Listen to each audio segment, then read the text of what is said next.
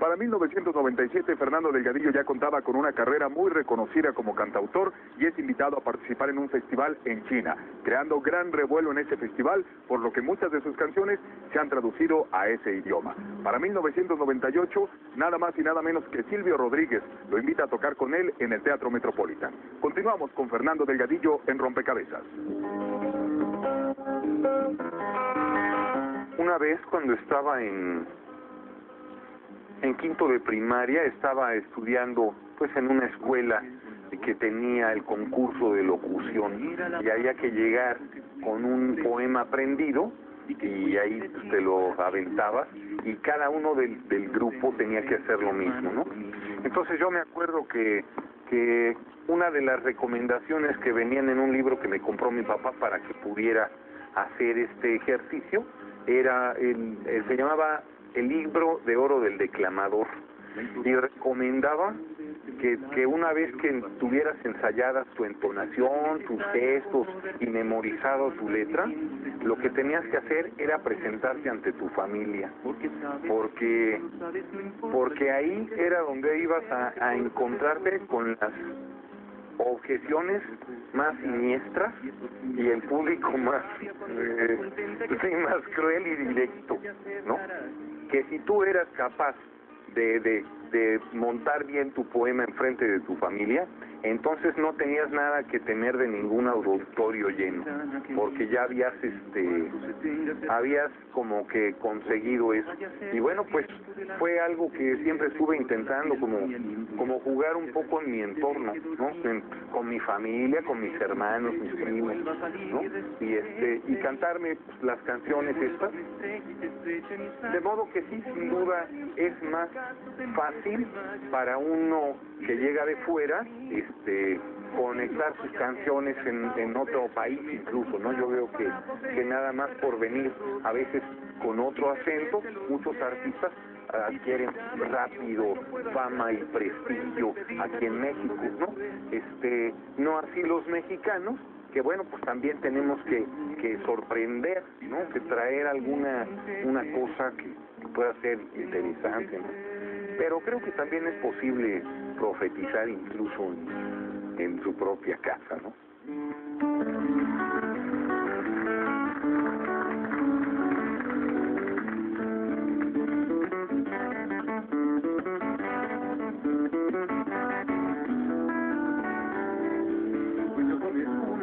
Mar y hay que poner la capa como el viento venga. El talento trabaja, el genio crea. No vuelvas nunca al sitio de tus viejas alegrías. La concordia alimenta, la discordia no. Ningún hombre es mejor que su conversación. Una respuesta suave es la cura para la cólera. Nunca respondas la pregunta que no te hayan hecho. El ánimo se inclina con los cielos que resbalan. Cuenta tus penas a ti mismo, tus alegrías al mundo. Tu sitio que ya quedarán. Depende mucho la felicidad del movimiento. Estudia el poder del silencio. Corona de la buena voluntad es la humildad. La herida que es causada por la lengua es incurable.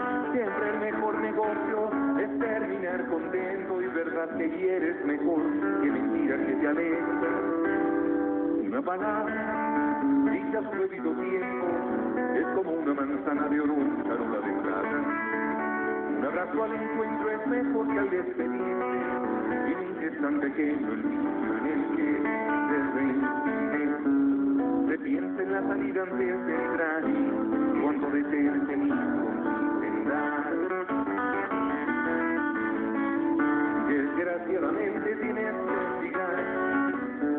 sola las puertas de las grandes casas. Cuando las armas están listas, el buen sentido falta. El mejor compañero de la adversidad.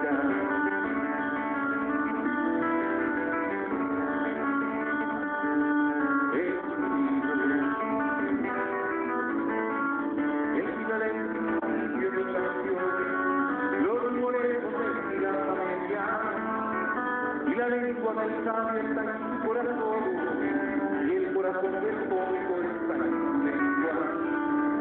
No sé si siempre pasa esto llanto, yo lo aprendo en el libro de los días. Este verbo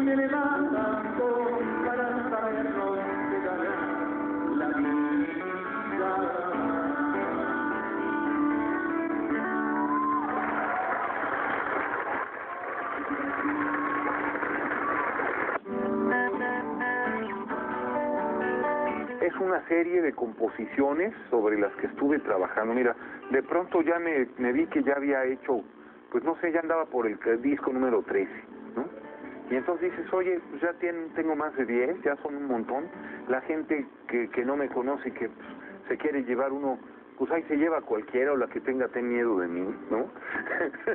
Pero pues realmente un trabajo así, pues en el, en el que yo esté bien prendido, no sé, ahorita siento que, que de repente ya he estado grabando cada año todo lo que se me ocurre, ¿no? Entonces eh, me fijé que cuando hice el primer disco, pues tenía siete años componiendo. Y entonces sí pude seleccionar un material para eso. Y, y fue lo que intenté ahora, dejar también un, un tiempo amplio para ponerme a escribir canciones y empezar a imaginar mundos que pueden ser los discos, ¿no? Entonces, bueno, pues ahorita estoy eh, a punto de publicar este de que se llama La Isla del Olvido, desde la Isla del Olvido, y, es, una especie de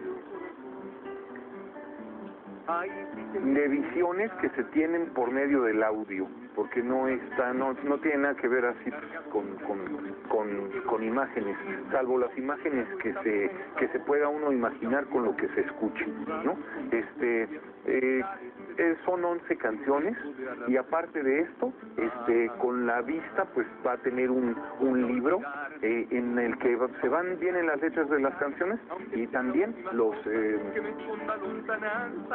pues los textos que va escribiendo este personaje que es una especie de náufrago que está en una isla desierta, bueno la vieja historia, una especie de Robinson y que está contando todos sus descubrimientos ah, mm, que van un poco acompañando las canciones y las visiones que se tienen con estos.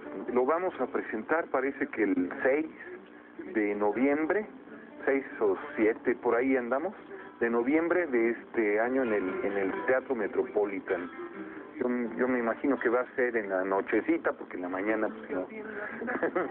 Cada determinado tiempo, Fernando Delgadillo, Jaime Hades, Edgar Oceransky, Silvio de Mexicanto, todos ellos cantautores, se reúnen en alguna casa para festejar lo que ellos llaman los no cumpleaños, obviamente evocando a las aventuras de Alicia en el País de las Maravillas de Luis Carroll, y ahí ellos cantan y leen poesía. Esperemos que esa tertulia sea tan disfrutable como esta que tuvimos con ustedes.